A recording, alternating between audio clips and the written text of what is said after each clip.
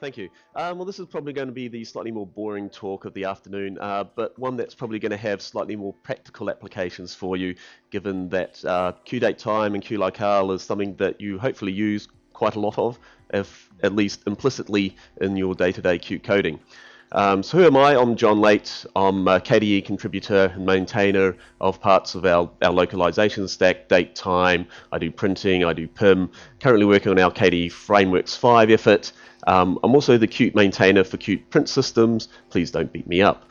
Um, I have 10 minutes, 20 slides. Time to start. Go. Right. KDE has its own set of locale and date time classes. Uh, this is because historically uh, Qt support was rather poor compared to the requirements we had for a very international audience. Uh, we ship 70 different languages. We uh, basically use in pretty much every country on the planet. Uh, so we had very complex needs. Uh, this led to us coming up with a whole bunch of classes uh, to implement the stuff that we needed, particularly for our PIM suite, um, all our calendaring stuff, uh, KOrganizer, KMail, etc. Also translations, collation and stuff. Um, the problem with all this is it creates a massive and unnecessary dependency for any external developers. We've had in the past people fork our PIM libraries to use in their own PIM apps uh, simply because they didn't want to pull in klocale and all the other stuff and the extra weight it did. Qt has greatly improved though, and with uh, it's still got a few features missing, but it is considerably better in Qt 5. So this is led as part of our Qt frameworks, uh, KDE frameworks 5 effort uh, to change our monolithic KDE libs into nice, neat standalone libraries. Uh, we've got a KF5 talk tomorrow. David David Faure, go along see it. He'll tell you all about it. A big obstacle for us was klocale, kdate time. Uh, we want to get rid of that dependency and switch to using the Q classes instead.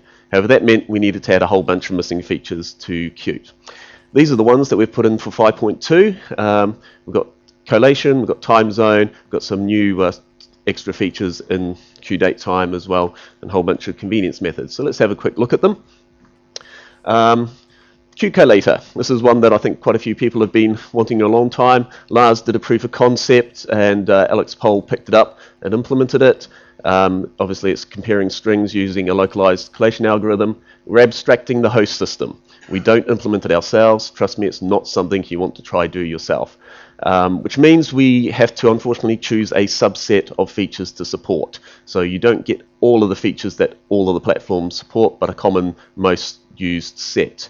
Um, if you're on Linux, please make sure you have the ICU headers installed so that you pick up ICU uh, collation. Otherwise, you'll get the POSIX fallback, which doesn't support anything much. It just sorts things using standard ASCII uh, implementation.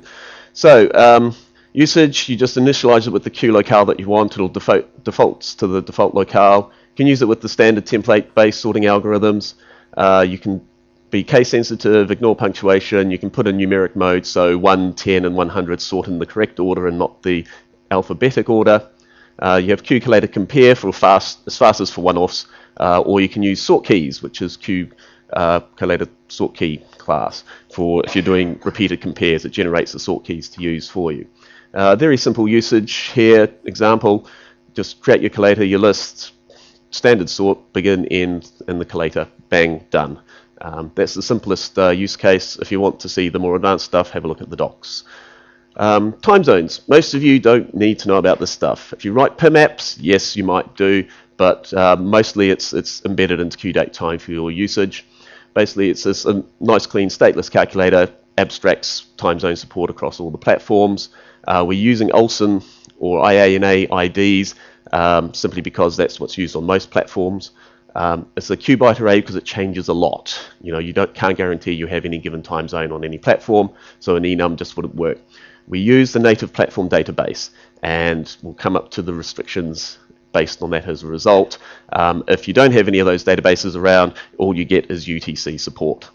Um, on Windows, as I said, there's some serious restrictions. They have really bad time zone support, although it looks like in Windows 8.1 they're finally joining the modern era.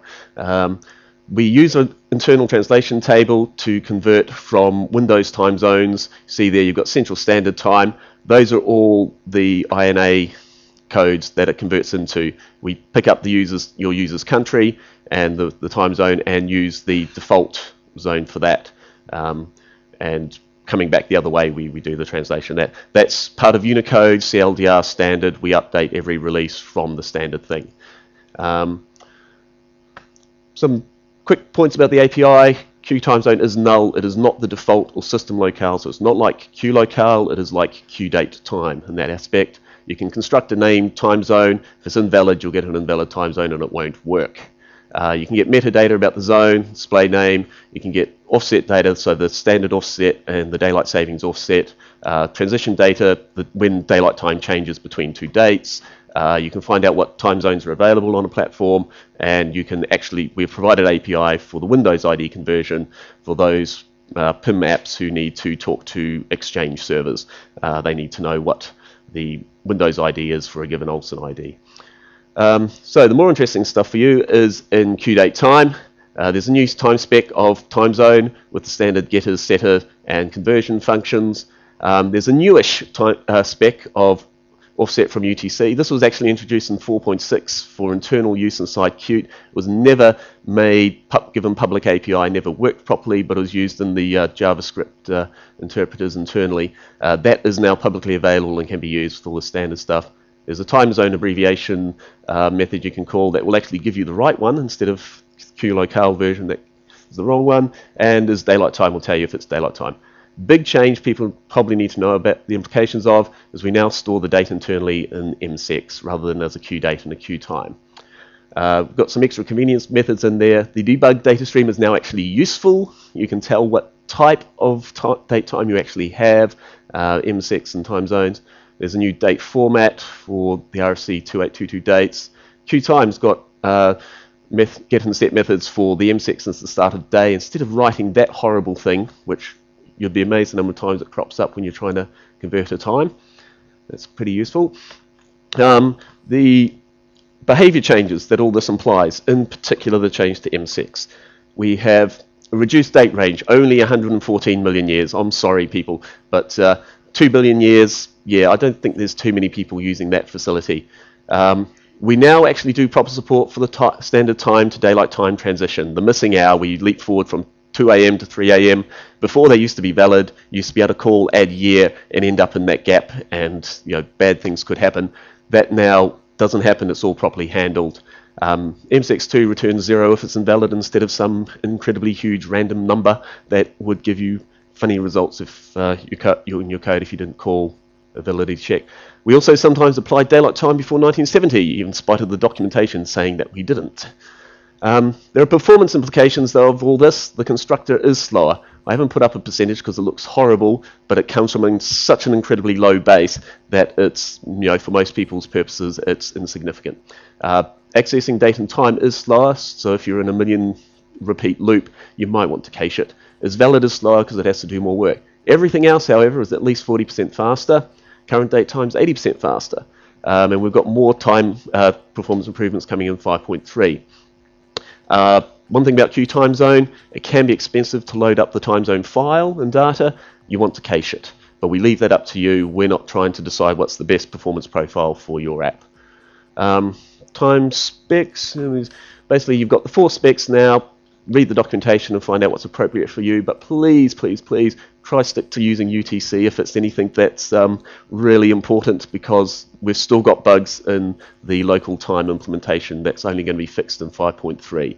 Um, I'm running out of time, so I'll skip the. We're basically going to in 5.3 allow you to uh, use choose your own uh, time zone backend. So if you're on Windows and you must have reliable time zone information, you will be able to load up the TZ file. Um, Date time, we're going to fix a lot of our inconsistent problems across the platforms. At the moment we use the C standard mktime, which performs differently on every platform, has serious bugs in it on Linux. Um, so we're going to switch our backend to use Q time zone instead. It will be faster, it will be consistent across all platforms. And in the last 25 seconds, Q locale will be getting quite a few changes. We've been through three different plans. Plan A was to ex extend our existing code and data, found that that would explode the library far too big. Plan B was to use ICU everywhere, except we can't do that on iOS, and the Windows developers don't like shipping an extra 10 meg in libraries. Plan C is now to use entirely native resources, and hopefully all of them except Win32 work properly. Bing, bing, bing. I believe that's my time is up, Uh, so uh, vote for me, and because I made it, I get a cookie. Thank you.